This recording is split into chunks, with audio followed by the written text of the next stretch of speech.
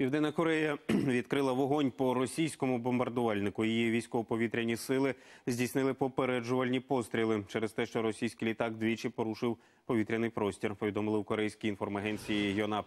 Двічі за три хвилини він пролетів, зокрема над східним морем біля островів Токто.